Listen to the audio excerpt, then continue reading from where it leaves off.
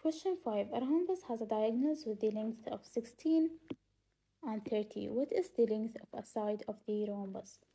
So as we know that, that the diagonals in the rhombus bisect each other in 90 degrees.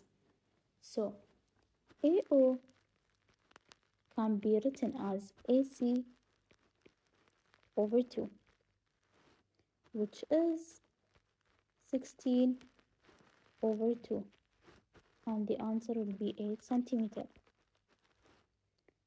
And DO can be written as BD over 2 which is 30 over 2 and the answer is uh, 15 centimeter. So then consider the triangle AOD and apply the Pythagoras theorem. The Pythagoras theorem states that AD equals to A O square plus D O square. So now let's plug our values into this formula. So AD equals to 8 squared plus 15 squared.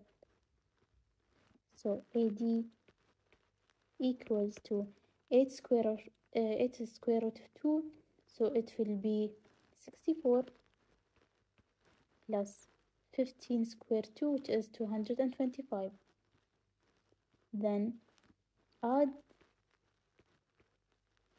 64 plus and uh, 225 it will be 289 then we will find the square root of 289 so AD equals to square root of 289 which is equals to 17 centimeter. So the answer Uh, is option C